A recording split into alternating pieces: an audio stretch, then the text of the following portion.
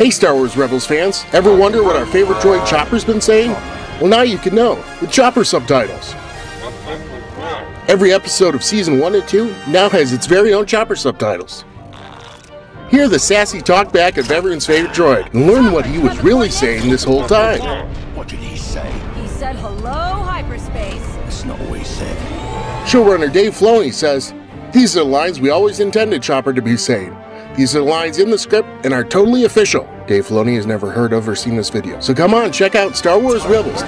Now with Chopper subtitle. Links in the description of this video.